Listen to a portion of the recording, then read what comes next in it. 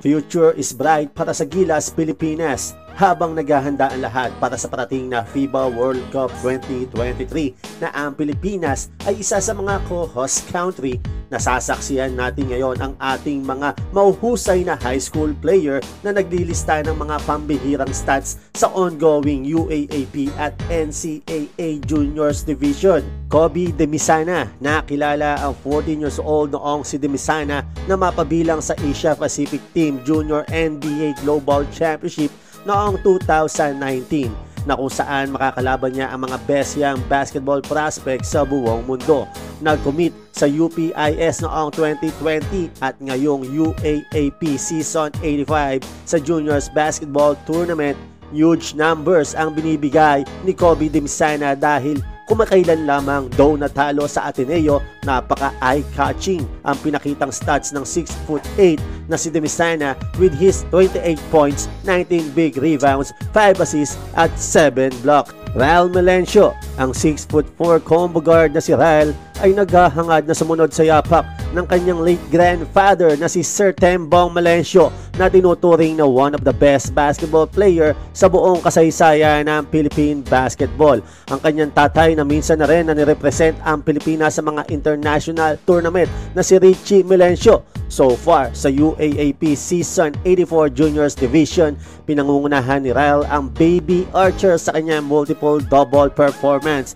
3 weeks ago against University of the East, nagtala si Ryle ng 26 points, 20 rebounds, 3 assists at 5 blocks. Reinhard Humamoy, ang Nazareth NU Rising Star becomes UAAP high school player na nagtala ng dalawang triple-double sa isang seasons since nagawa ito ni Mark Noynoy ng UST noong 2019. Noong January 25 laban sa UE, naglista si Humamoy ng 13 points, 13 rebounds at 10 assists at noong February 1 laban sa UP nakuha niya ang kanyang ikalawang triple-double ngayong season sa kanyang 25 points, 16 rebounds at 11 assists. Christian Porter, ang 6'5 Batang Gila standout ay nag-average ngayong season ng double-double stats sa puntos at rebounds para sa Ateneo.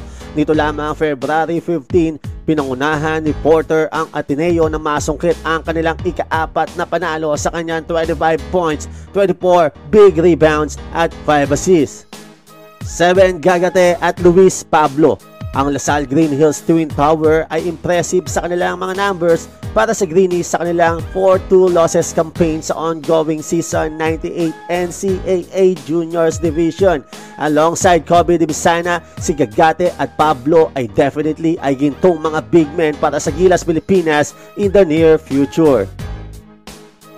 Andy Himaw. Minsan ko na na-feature si Andy Himaw sa ating YouTube channel almost a year ago matapos mag-viral ang kanyang mga dunk highlights. Matapos yon ay nag-try out at nabigyan ng pagkakataon na mapasama sa Batang Gilas sa 2022 FIBA Under-16 Asian Championship at ngayon sa NCAA Season 95 Juniors Division. Talaga nga namang pinapabilib ni Himaw ang mga Pinoy basketball fans sa kanyang talent at skills at pinangungunahan ang league leading Letran Square sa kanilang kampanya. SJ Moore. Ang 6'2 guard na si SJ Moore ay isa sa mga high school player na nagpapakitang gilas ngayon sa high school basketball dito sa Pilipinas. Pinangunahan ni Moore ang Arellano na matikman ng league leading letran ang kanilang unang pagkatalo sa tournament sa kanyang 24 points, 18 rebounds at 4 blocks. With his athleticism at yung kanyang pambihirang makina ay mas dumadami pa ang umahanga dito sa grade 12 student na si SJ J. Moore. Yes sir, tara at kumita habang nanonood ng ating mga paboritong liga sa larangan ng basketball. Tayo na mag-register sa 1xBet. Ang 1xBet ay isa sa mga top betting sites sa buong mundo. Magrehistro gamit ang link na nasa comment section at wag na wag niyo pong kalimutan ilagay ang aking promo code THESIDE upang may chance na makakuha ng up to 7,000 pesos na bonus. Banks, e-wallets, cryptocurrencies, pwedeng pang cash in at pang cash out. Ano pang hinihintay nyo? Tara, register na!